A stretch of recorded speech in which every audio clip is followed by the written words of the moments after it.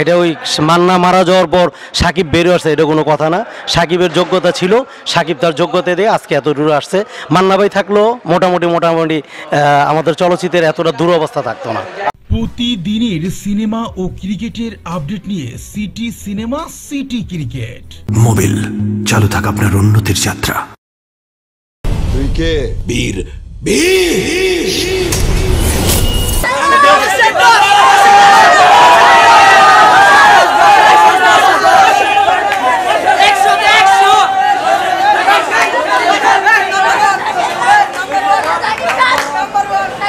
দর্শক আসসালামু আলাইকুম। নয়াল এক্সপ্রেস থেকে আমি আরিয়ান আছি আপনাদের সাথে। ইভেন আমরা মধুমিতা সিনেমা হলে বীর সিনেমার রিভিউ নিতে এসে আমরা একটা চমক হয়ে গেল আমাদের সাথে এবং আমরা বিএম আজাদ ভাইকে পেয়ে গেলাম। এবং আপনারা অনেকেই জানেন যে পরিচিত মুখ।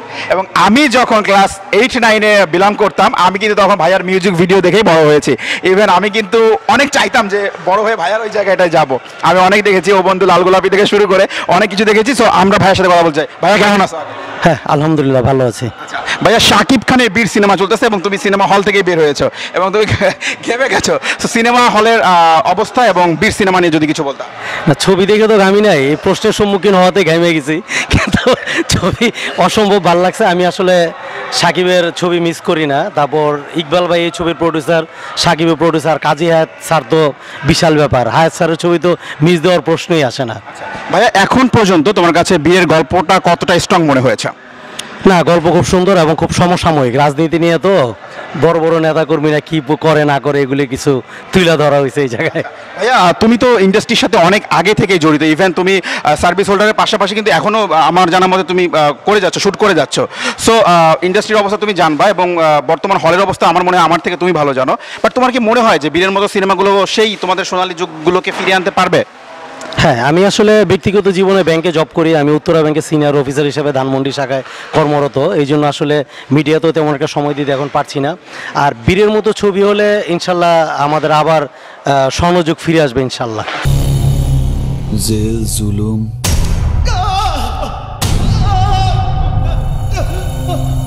ভাইয়া বলা হচ্ছে যে কাজিহাত চেয়েছেন। আর তোমরা জানো যে কাজিহাতের সিনেমা মানে হচ্ছে একটু স্থানীয় ভাষাগুলোর ইউজ করা হয় এবং এই সিনেমায় ট্রেলার আমরা সেটাই দেখতে পেরেছি। তো কাজিহাত কিন্তু বলেছে যে এটি হয়তো বা তার লাস্ট সিনেমা হতে পারে হয়তো বা তোমার কি মনে হয়েছে যে সেই মান্নার যে একটা ফ্লেভার সেই ফ্লেভারটাই আসলে সাকিবকে দিয়ে দেওয়ার চেষ্টা করেছে কাজিহাত আসলে মান্না ভাই একটা ফ্যাক্টর, সাকিব একটা ফ্যাক্টর। দুইজনে দুই মেরুর হ্যাঁ? দুইজনে দুই ধরনের ছবিতে কাজ করে। তারপর যেটা হলো, মেকার হলো কাজী হায়াত।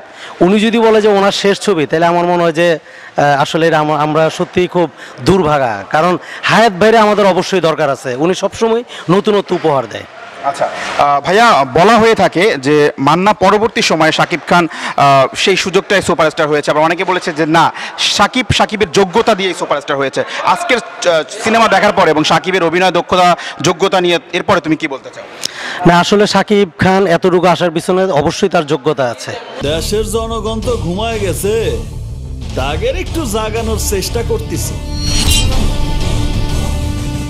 এটা ওই মান্না মারা যাওয়ার পর সাকিব বেরিয়ে আসছে এটা কোনো কথা না। সাকিবের যোগ্যতা ছিল সাকিব তার যোগ্যতা দিয়ে আজকে এত দূর আসছে। মান্না ভাই থাকলেও মোটামুটি মোটামুটি আমাদের চলচ্চিত্রের এতটা দুরবস্থা থাকতো না। আচ্ছা ভাইয়া ঢালিউডে বলা হচ্ছে যে একজন মাত্র সুপারস্টারের কাঁধে তোমাদের ফুল ইন্ডাস্ট্রি তো তোমার কি মনে হয় না যে এটা একটু বাড়ানো দরকার বা আরও কিছু সাকিবের মতো স্টার ইন্ডাস্ট্রিতে দরকার আছে? অবশ্যই দরকার আছে। আসলে বাইরের দেশে তো এগুলি শিল্পী তৈরি করে তারা। তাদের তারা হলো শিল্পী তৈরির কারখানা দিয়ে রাখছে। বিভিন্ন ওয়ার্কশপ থাকে বিভিন্ন ইয়ে থাকে কিন্তু আমার দেশে আসলে সেই ধরনের কিছু হচ্ছে না। এই জন্য আসলে আমরা শিল্পীর এতটা অভাবে আছি। ভাইয়া বুবলির অভিনয় কিছু ভালো বুবলি অসাধারণ। খুব ভালো করেছে। হ্যাঁ বলা হচ্ছে যে বারবার একটা মাত্র ভিলেনি ঘুরে ফিরে আসছে। মিশা সদাগরের কথা বলা হচ্ছে। মিশা সদাগরের বিকল্প কাউকে পাওয়া যাচ্ছে না। মনে হচ্ছে ডিপজল ভাই চলে যাওয়ার পরবর্তী থেকে ভিলনের খাতা কিন্তু অনেকটা শূন্য। এটা নিয়ে যদি কিছু আসলে মিশা ভাই অসাধারণ অভিনেতা। একদম মানে উনি একটা অভিনয়ের কারখানা। এক একটা ছবিতে এক এক ধরনের ভেরিয়েশন ওনার। আসলে ওনার বিকল্প নাই। কখনোই কারও বিকল্প আসবে না। যদি নতুন কেউ আসে একটু ভিন্ন প্যাটার্ন যদি নিয়ে আসতে পারে তাহলে হয়তো বা সেও কাজ করতে পারে। আচ্ছা আউট অফ টেন তোমার রেটিং কত? এই ছবিতে? এই ছবিতে। আসলে এই একটা কঠিন প্রশ্ন। তোমাকে দিতে হবে কারণ তোমার সেভেন সেভেন আমার মতো কতই বাদালের সওয়াল রাজনীতির গুটিবাজিতে পইরা বলি হয়ে যাতিছে।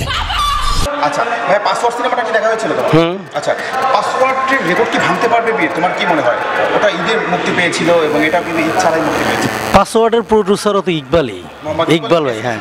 হ্যাঁ ইকবাল ভাই প্রডিউসার পাসওয়ার্ডের প্রডিউসার কি ইকবাল ভাই না? প্রডিউসার ইকবাল ভাই পরিচালক ছিল হচ্ছে আপনার মালিক আফসার। আচ্ছা। ফিল্মসের ছবি দুটো। এটা আসলে দর্শকরা কোনটা কোনভাবে গ্রহণ করে এটা বলা যায় না। তারপর পাসওয়ার্ডের চাইতে এটা কোনো দিক দিয়ে খারাপ না। হাড্ডাহাড্ডি লড়াই হবে হাড্ডাহাড্ডি লড়াই এবং সাকিবের গেট আপটা এটা অসাধারণ। সাধারণ যেটা আমরা দেখতেই পাচ্ছি যে আসলে আচ্ছা ভাইয়া বলা হচ্ছিল কেজিএফ সিনেমার নকল এটা। কোনো কি মিল পেয়েছ কেজিএফ এর সাথে? না আমি ওই ধরনের কিছু পাইনি। আচ্ছা এবার ব্যক্তিগত তোমার জীবন নিয়ে ছোট কয়েকটি প্রশ্ন করে ছেড়ে দিতে চাই। তুমি অলরেডি অনেকটা ওয়েল অভিনয় কবে ফিরছো বা কি কি কাজ করছ? আমি তো চাপাবাজ নাটকে কাজ করতেছি। আসলে সবচেয়ে বড় কথা হলো আমি ব্যাংকে জব করি তো। আজকে অনেক বছর যাবৎ আমি ব্যাংকের সাথে জড়িত। এতদিন হয়তো ব্যাংকে কাজের একটু চাপ কম ছিল, সেই হিসাবে হয়তো আমি মিডিয়াতে মোটামুটি কাজ করেছি। কিন্তু এখন দায়িত্ব দেওয়া হয়েছে প্রমোশন হলো এবং আমার নতুন এমডি স্যার ব্যাংকের প্যাটার্নই চেঞ্জ করে ফেলেছে যে কাজ করতেই হবে।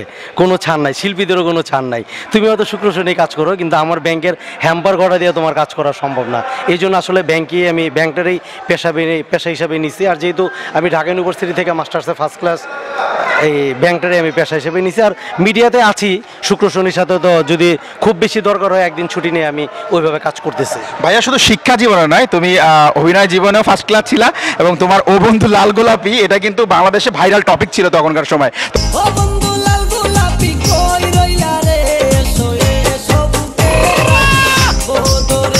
তখন কিন্তু ইউটিউব এতটা এগ্রেসিভ ছিল না। থাকলে হয়তো ওইটার হাইপ আরও বাড়তো। আমি যতদূর দেখেছি সিডি ভিসিডি এবং পেন ড্রাইভের মাধ্যমে যেই পরিমাণ ভাইরাল ছিল ও বন্ধু লাল গোলাপি। তো গতকাল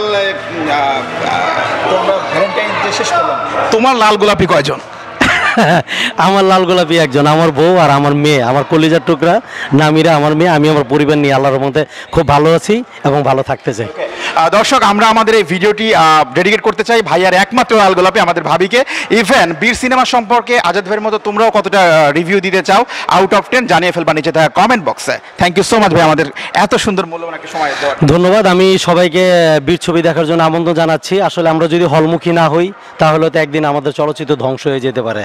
বীর ছবি অসাধারণ, অস- মানে অসম্ভব সুন্দর, আপনারা সবাই বীর সিনেমা উপভোগ করুন এবং বাংলা ছবি দেখুন বাংলা চলচ্চিত্রকে জীবিত রাখুন। থ্যাংক ইউ সো মাচ ধন্যবাদ। থ্যাংক ইউ সো মাচ দর্শক আমরা একটা কথা শুধু বারবার বলি যে শুধুমাত্র তৃণমূল থেকে নয় যারা সিনেমাকে ভালোবাসেন যারা মা এবং মাটির ভাষাকে ভালোবাসেন তারাই ছুটে আসছেন বিভিন্ন সময় সিনেমা দেখতে। ধরুন না আমাদের মডেল বি এম আজাদ ভাইয়ের কথাই উনি কিন্তু সার্ভিস হোল্ডার এবং উনি কিন্তু এখনও ক্যামেরায় কাজ করেন, ক্যামেরার সামনেই কাজ করেন, লিড দিয়ে থাকেন। তারপরেও তার যে একটু সময় বের করে হলেও কিন্তু সেই সিনেমা টানে বাংলা ভাষার টানে ছুটে এসেছেন সিনেমা হলে এবং এসে কিন্তু উইশ করে গেলেন শাকিব খানকে উইশ করে গেলেন কাজী হায়াত সহ এই সিনেমা সহ প্রযোজক মোহাম্মদ ইকবালকে। দর্শক আপনার কাছেও কিন্তু রয়েছে আপনি চাইলেও কিন্তু পারেন বাংলা ভাষাকে ভালোবাসতে অন্তপক্ষে এই ভাষার মাসে বেশি করে বাংলা সিনেমা দেখুন। আমরা জানি যে একটি সময়কে পরিবর্তন করে দিতে পারে একটি সিনেমা একটি জীবনকে পরিবর্তন করে দিতে পারে একটি ভালো সিনেমা। থাকুন না রয়্যাল এক্সপ্রেসের সঙ্গে। শাকিব সম্পর্কে বলেন।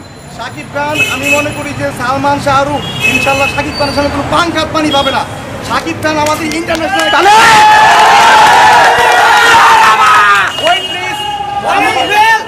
আমাকে বলতে দেন। সালমান শাহর পরে একমাত্র শাকিব খান।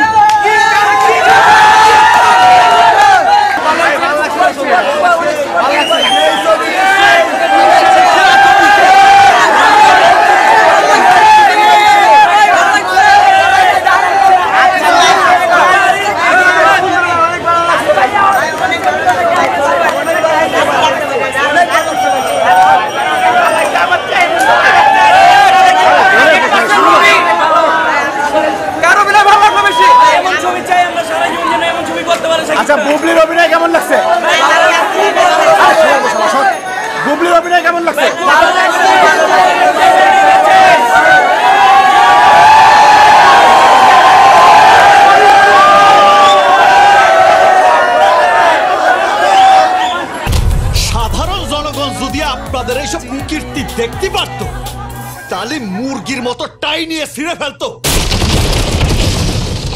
আর আগে বাড়িস না